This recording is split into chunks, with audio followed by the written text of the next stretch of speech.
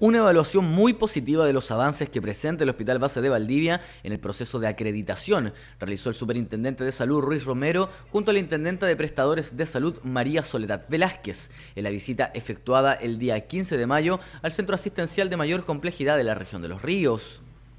Las autoridades del organismo regulador realizaron un recorrido por diversas unidades y servicios hospitalarios para constatar en terreno los avances de este proceso que conducirá a la certificación de calidad, cuyo objetivo es brindar una atención de calidad y segura a los pacientes. Nosotros estamos acá principalmente para visitar el Hospital Base de Valdivia y ver cómo han avanzado en el tema de acreditación de calidad.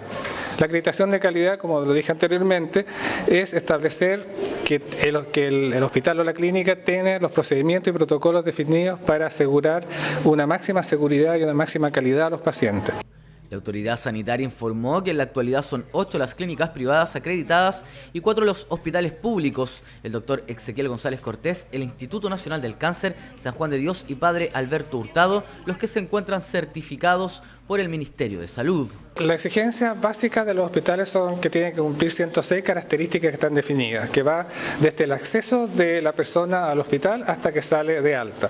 incluyendo en ello toda la parte de información a los, pacientes de lo que le van a hacer, cuáles son los problemas, las complicaciones, eh, chequeo preanestésico para ver si puede tener alguna, algún problema, esos son algunos ejemplos, lo que tiene que, estar toda la parte clínica, toda la parte de laboratorio, toda la parte de profesionales médicos, que tienen que tener las, habilitaciones correspondientes, o sea, los médicos cirujanos que sean médicos cirujanos, las enfermeras, las auxiliares, todos los, profesionales de salud que, que, forman parte de un hospital tienen que tener su título correspondiente.